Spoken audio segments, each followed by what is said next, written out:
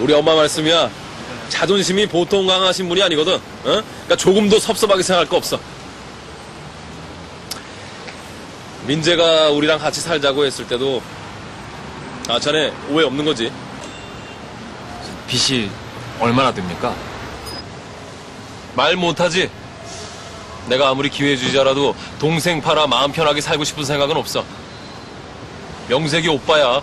날 우스운 오빠로 만들지 마. 물론 나도 부잣집에 장가 가서 처가떡 보며 살고 싶은 생각 할 때도 있어. 근데 오빠로서 동생 덕 보겠다는 건 좀 치사하지 않아?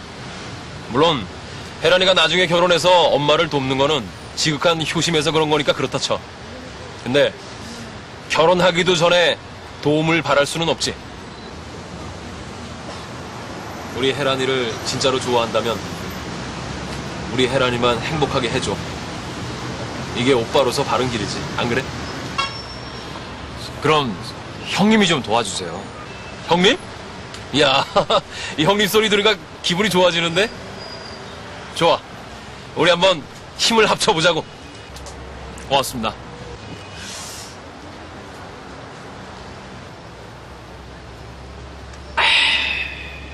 한잔 받으세요. 엄마, 분명히 다른 이유 있죠?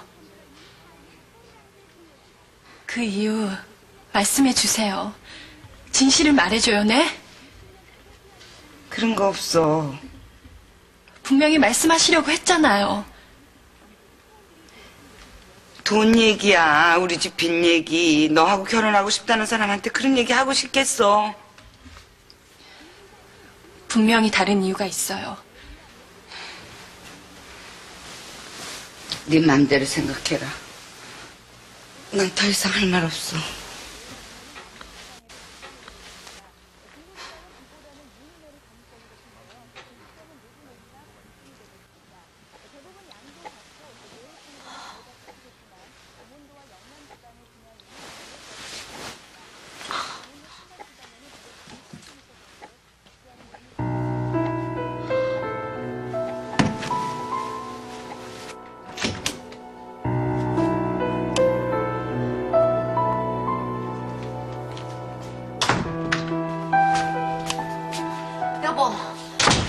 들어왔어요. 여보, 유진이 안 들어왔다고요. 지금 민재하고 있는 게 틀림없어요. 어떻게 해요, 여보? 유진이 이렇게까지 몰아붙인 건 당신이에요. 유진이 찾아야 돼요.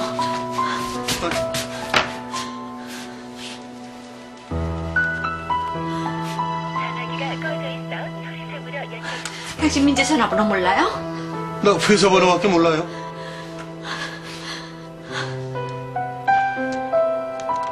아니 대체 어디다 하는 거예요? 아, 어디다 하는 거냐니까요? 어, 상관 말아요.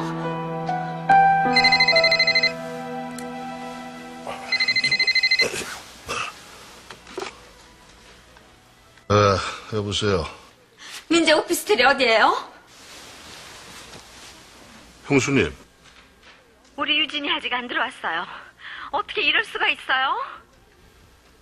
아니 대체 왜 이러는 거예요? 상관 말아요. 어디예요? 어디냐고요? 민재 오피스텔 내가 알려주죠. 우리 유진이 당신한테 그렇게 믿게 만들기 위해서 안 들어온 거예요. 민재하고 같이 있잖아요. 난 유진이 믿어요. 유진이 지금 제정신 아니에요. 그런 애를 어떻게 믿어요?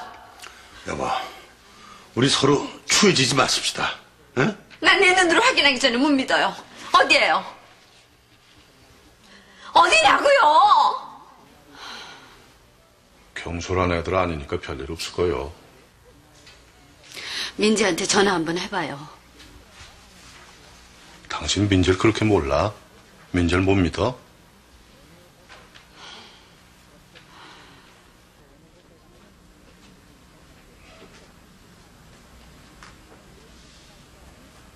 그러고 밤샐 거야?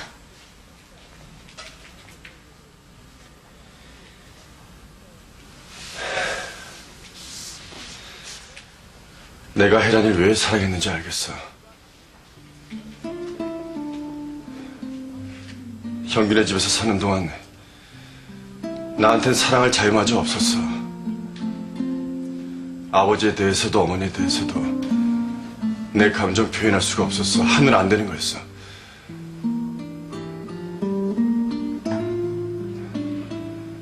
밥 먹는 즐거움을 누릴 수 없는 거나 마찬가지였어.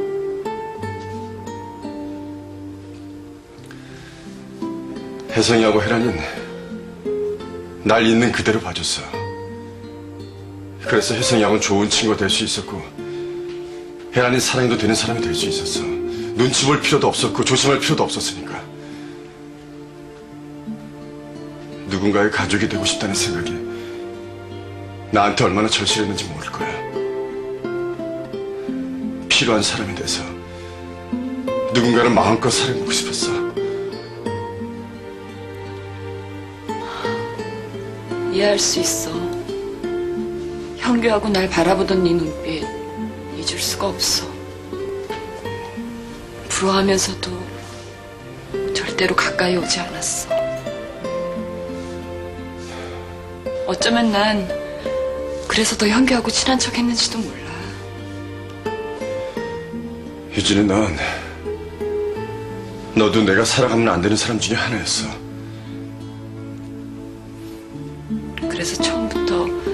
나한테 마음을 닫아버린 거니? 그랬을 거야.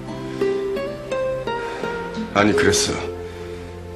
난 주제넘는 짓은 절대로 하고 싶지 않았고 말썽 부려 집안을 시끄럽게 해서 관심을 끌고 싶지도 않았어. 그저 조용히 얌전하게 어른이 되기만을 기다렸어. 네가 옳다는 게 증명이 됐네. 유진아, 감수하려고 했는데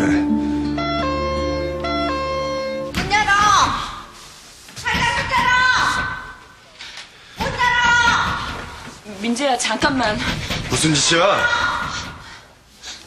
빨리 입어. 됐어 문 열어. 옷 입어 입으라고. 당장 문 열어! 문 열지 못해! 유진아 이건 아니야. 빨리 입어. 민재야 잠깐이야 잠깐이면 돼.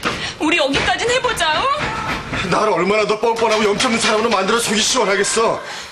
이 순간만 잘 넘기면 될 거야. 날 믿어. 어? 민재야.